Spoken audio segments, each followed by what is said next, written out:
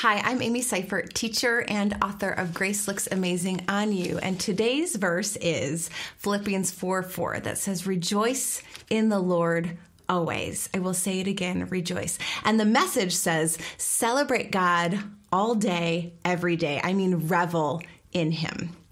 Paul pens these words to a church in Philippi, but we can't forget what, where he actually is when he's writing this. His joy cannot be jailed as he is in chains in prison.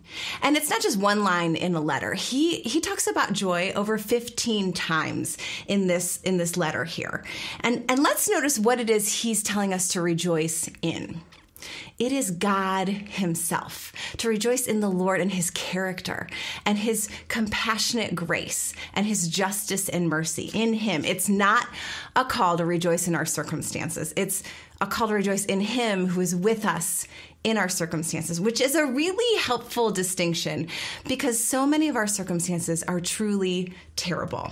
When our 11 year old son was diagnosed with a chronic disease, we were not reveling in this news, but we could celebrate the fact that God was such a good shepherd to us in this. He led us to a great health and treatment plan. He gave us peace. He was with us in the middle of the circumstance. So today, let's center God and decenter ourselves and our circumstances. We, are often just a perspective shift away from changing our entire day. So if you are feeling rejected, Celebrate that God came so that you would belong to Him because we're called children of God if we believe in Jesus.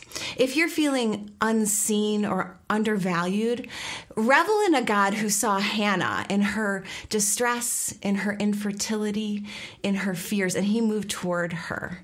If you're feeling overwhelmed by your own brokenness, rejoice in a God who made you in His good image. And no amount of your brokenness will cancel the bright beauty that God has put inside of you. So let's celebrate God in our circumstances today.